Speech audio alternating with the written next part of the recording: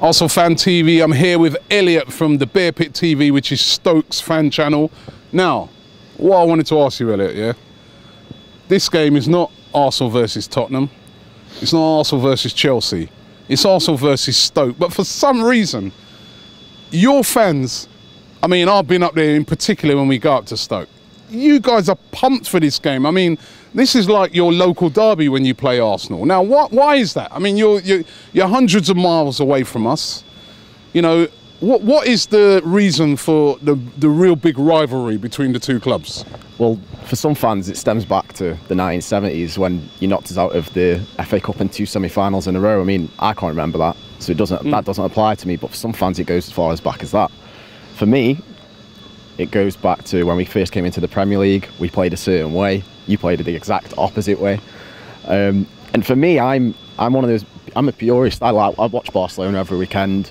You're the guys who try and play that way in the Premier League. But when it comes to that fixture, I'm like, let's switch it up. Because you don't like that. You don't like mm. us playing like that. And the rivalries just come from the Shawcross incident, the comments Wenger, Wenger makes about uh, rugby and it's just all gone from there. And you get fans turning up at our ground with uh, Wenger masks and dancing behind him, and then they do all this uh, behind Wenger, doing the what, what do you lot call it? The yeah, just doing all that behind him. It's, I don't know where it's come from. It's just taken on a whole new other level. And the thing is, we always seem to get a result at the Britannia as well. Mm. So every time we do, it just pumps us up for the next time we play it. And I mean, you, I mean, listen. I was up there last year, and it, it was horrible that day. Horrible, I tell you. right Great for us. It was great for you. It was horrible all round. Our fans, we had a, we had a nightmare. You, you slaughtered us in the first half. But what amazed me, even before the game started, as I said, your fans, they're pumped. They're like, this is like you know a life and death game for them. It is. I mean, we don't really have a local derby. We've got West Brom who are close, but they're not. It's not a derby. Port Vale. Port Vale. But don't need to speak about them. They've got a few leagues to get up to to get near us. But um, yeah, it's it's just just taken on a whole new level. It's just this game, and then there's the things that all football fans don't like about Arsenal, whether it's the selfies or the. What selfies? Come selfies. on. We're not the only club that does selfies, you know. I know, but there's some some, some more than others. And uh, the polls on Twitter and stuff like that. Well, because I, we win all the polls on Twitter. I saw yesterday that. Um, the television awards are going to be done by Twitter hashtags and polls. I'm fully expecting the Arsenal squad to go up and collect best so. I am fully expecting that to happen.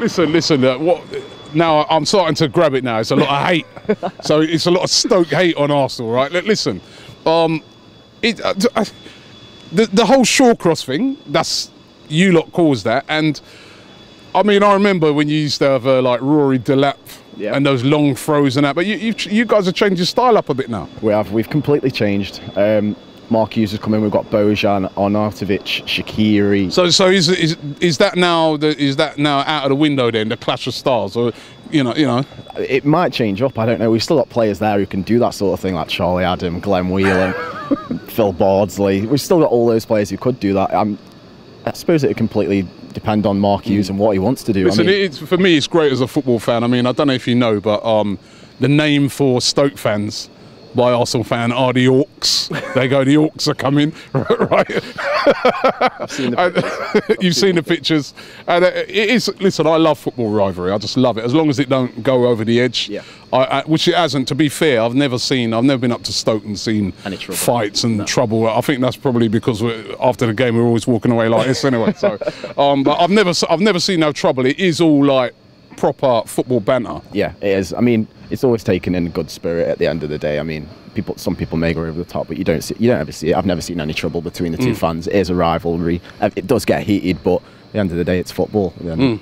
and that's all that matters. All right, well, we go into the game this weekend. Uh, no, I'm not going to say may the best team win because I said that to them West Ham guys, and uh, right. But it should be a great game. Um, and listen, for me, as a football fan, long may the rivalry continue. Yeah, definitely, definitely. But yeah, I'm looking forward to the game. You know, especially after the international break. You know, just want to get back stuck back into it, and we need a winner. We we you know we need a win here. Um, we haven't won here yet this season. Drew against Liverpool, lost on the first game of the season against West Ham. Um, our away form's been very good. We've won both on the on, on the road, but here we haven't won yet. So it's a massive, massive game for Arsenal.